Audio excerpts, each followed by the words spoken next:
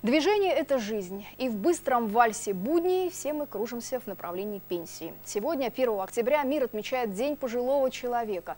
В нашем городе успешно работают муниципальные программы по поддержке старшего поколения краснодарцев, по ремонту жилья ветеранов, сотни из которых ежегодно отправляются на отдых к Черному морю. С выходом на заслуженный отдых многие краснодарцы остаются активными и продолжают продвигать себя на рынке труда с помощью современных технологий. Президентская программа «Снова в деле» позволяет открыть в себе новые таланты. С какими знаниями выпускаются такие возрастные учащиеся, знает Валентина Щербакова. Инструктор по горному туризму с солидным стажем. Так себя позиционирует Ольга Сидоренко. Хотя и статус пенсионерки считает достойным. Останавливаться на полпути не привыкла. Благодаря сарафанному радио встретила единомышленников, которые помогли найти применение опыту, знаниям и желанию работать. Так Ольга Павловна оказалась снова в деле водила детей походы, взрослых походы, когда это был еще Советский Союз. А вот перейти на новую систему, чтобы за это брать деньги, я так и не научилась. Диплом психолога лежит у меня, то есть эти знания уже давно пора передавать другим.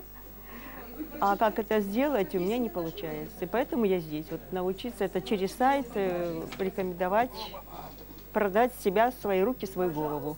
Программа самозанятости пенсионеров снова в деле проект федерального масштаба. Его ресурсы – президентский грант на развитие гражданского общества. Потому обучение можно пройти бесплатно. Основное требование кандидатам – желание. Вышел на пенсию и хочешь оставаться в строю – учи азы интернета. А чтобы еще и любимым делом заниматься – иди в школу. Но, конечно, не в обычную, а для пенсионеров, где и страничку в Инстаграм помогут создать, и основам маркетинга обучат. Впрочем, не только им. Значит, вот челночок поворачиваем восточным движением руки и заводим снизу на эту ниточку, которую держим на пальчиках. Полученные здесь знания о самопродвижении в сети многие седовласые учащиеся используют на практике. Светлана Варик, например, уже нашла свою нишу. Она в прошлом инженер-электрик. Профессия, мягко говоря, не женская, а потому единственная отдушиной стала хобби – Фривалите – особая техника плетения кружева при помощи челночной иглы. Рукоделием мастерица занимается больше 20 лет. А теперь она не просто любитель, и тому есть подтверждение – сертификат. Значит, любимое дело сможет приносить еще и прибыль так как э, интернет это еще не такая самая для меня доступная область, вот я пошла на эти курсы, чтобы э, суметь э, свои поделки представить в интернете для того, чтобы вдруг кого-то это заинтересует. Ну, я, конечно, могу как на заказ немножко что-то сделать, а могу и обучить.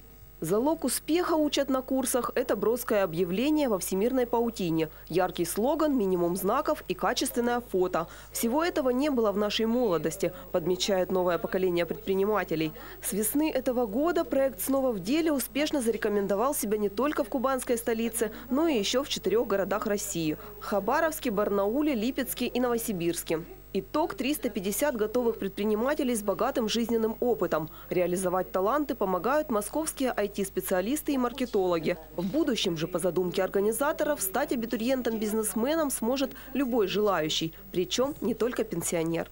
Актуален и для а, ну, допустим, такой категории социальных граждан, как э, молодые мамы в декрете, то есть э, э, люди предпенсионного возраста. В общем-то, для всех, кто готов обучаться, поскольку Э, у нас э, немалая часть составляющего нашего проекта – это как грамотно составить объявление, чтобы оно выделялось, чтобы можно было с ним, что называется, выстрелить и Этому могут поучиться многие. Хобби и умения, на которых намерены зарабатывать новоиспеченные краснодарские бизнес-леди, весьма разнообразны. От рукоделия и услуг бабушки на час до зеленителей, экскурсоводов и даже блогеров. За время действия проекта в Краснодаре второе дыхание в профессиональную жизнь обрели 57 предпринимателей. И, как подмечают кураторы проекта, новая профессия – это только начало пути.